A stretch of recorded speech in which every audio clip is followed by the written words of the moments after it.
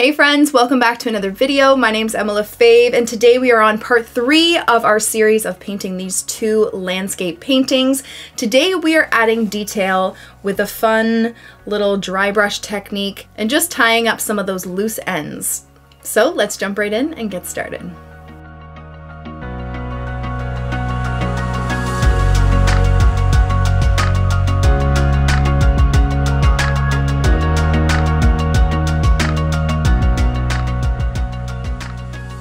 Okay, welcome back to part three of our video series.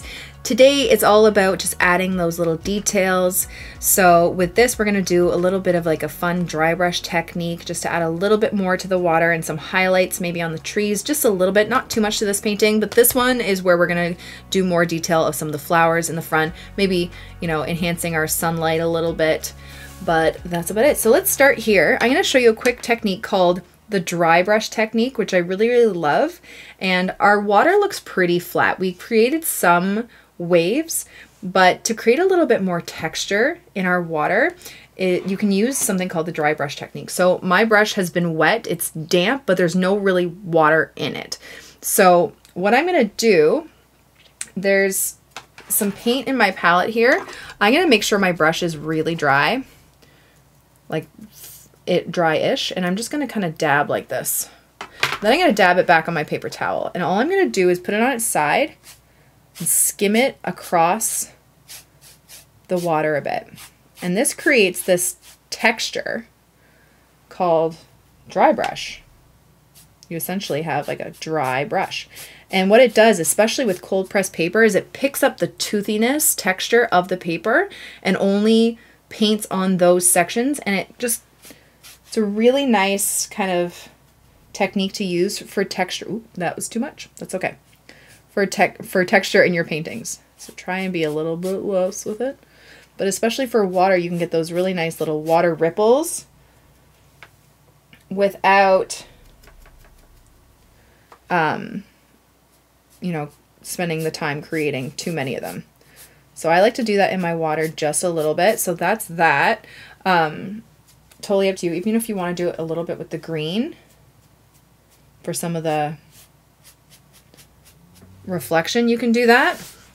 So that's that. And then some highlights you can add if you want to. Like in my last video, I showed you my Dr. Ph. Martin Bleed Proof White. Um, you can always add a little bit of white opaque paint to some of your watercolor. And you can just create some lighter highlights on some of your trees. And it just kind of helps just pick a side and just tap a little bit of highlight on some of those branches. I'm using like a green gold kind of mix with my white.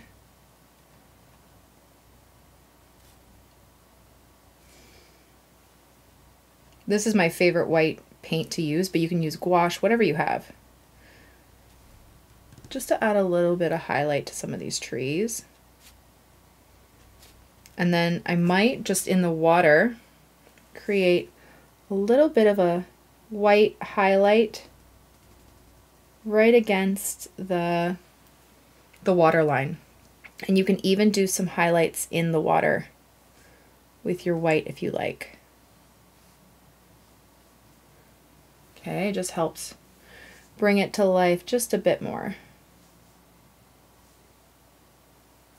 You can smooth it out with your finger. You could even do like little flecks, like some um, flecks from the sun just on the tips of the the peaks is where you would see them. Kind of on the lighter parts. Just for a little bit of sparkle on your water. Just little bits of detail like that are always fun to do. Okay? And it just kind of brings it all together a bit more when you add those little bits of highlight and sparkle. So that's that painting. I'm not going to touch it anymore. Oh, no, I lied. I'm, I said I was not going to touch it anymore. Um, if you want to make your clouds even a little bit fluffier, you can always add some white paint. Just kind of Not too, too much, but just a little bit of fluffiness to some of the clouds.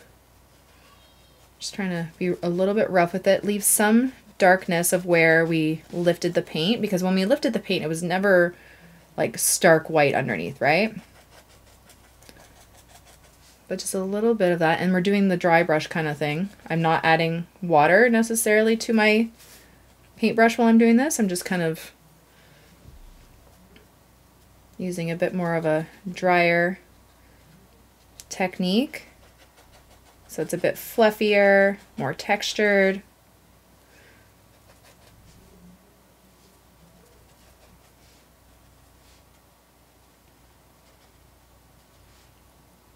But that's totally up to you if you want to do this.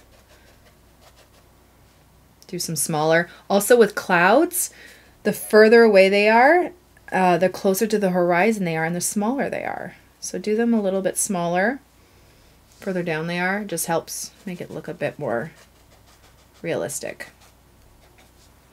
Like that. And there is our lake painting, okay? No more touching. okay, now moving on to this one.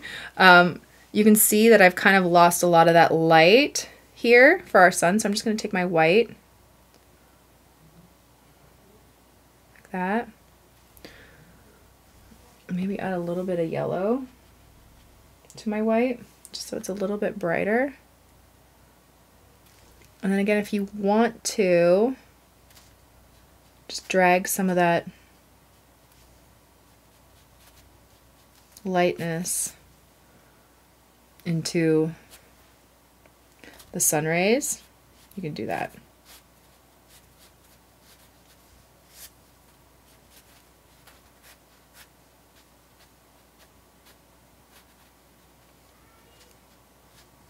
Like that. Okay. So there's our sun. Now I wanted to get to the flowers. So I'm going to be using this for my flowers um, and using it where we kind of put some of those flecks. So all I'm going to do, actually, maybe I'll do it around them so it looks like there's some out of focus ones. I'm just going to do these really kind of simple petal shapes with my white. And the flowers that are closest to us are going to be a bit bigger. And as we move further back, they're going to be smaller. So back here, they're going to be a little bit smaller. Right up close, they're going to be bigger.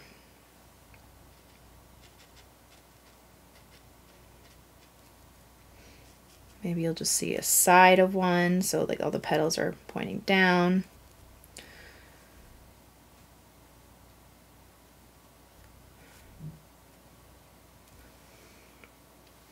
Maybe some over here.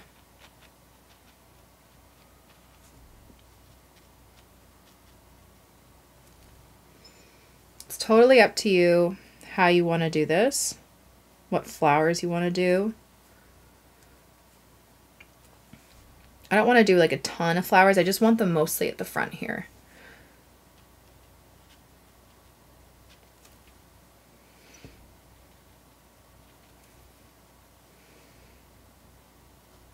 And you can even just do like little dots the further away they they go. They don't have to look like full flowers.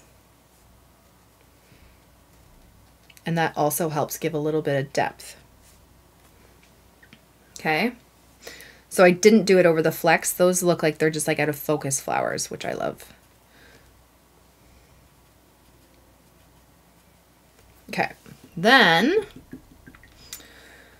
while I'm waiting for those to dry, I'm going to do a little bit of the dry brush like how we did here on the grass. So, drying off my brush here so it's nice and dry. And I'm just going to kind of run it over whatever green I had just even just dip it in, like my paint's not really wet. I'll tap it on my paper towel a bit and I'm just going to kind of skim it from the sides.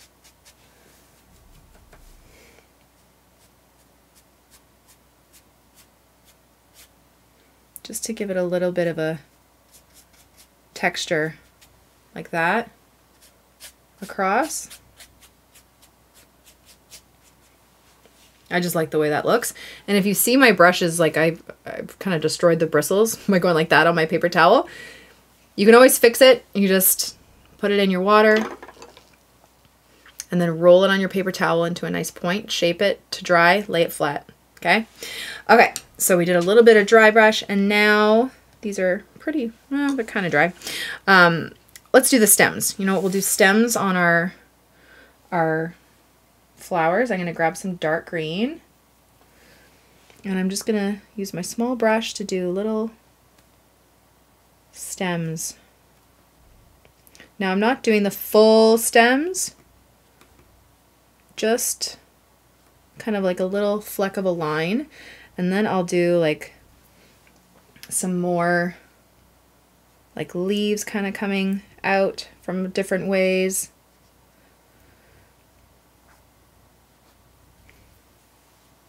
Doesn't have to be too realistic or anything. Might even do some like long grass.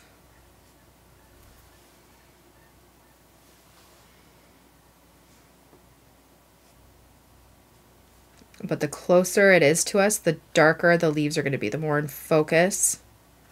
So the further away it is, the less you'll see them. So I'm using darker green right up front. making them fairly big. Like that. And then the more we move away, we'll make them smaller. Maybe just make little grass marks like this. You can even, hold on, you can even do that kind of piecey look with your brush. So just take your, your brush and just like dab it, kind of break up those bristles again and just do some dry brush, but like strokes of grass almost to make it look full.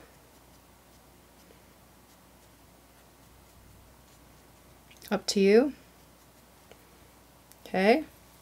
And then the last part of that would be the center of the flowers. So I'm just going to grab some yellow and white just to make it really nice and bright but I want it to be fairly yellow in the centers.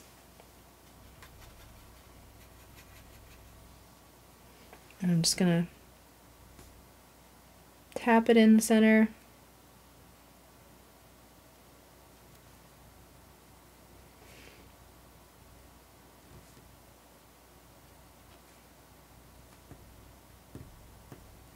Like that and then I might even grab a little bit of darker yellow like a yellow ochre Get a little bit of darker yellow in there just for a bit of shading, just to kind of make it look a little bit more realistic.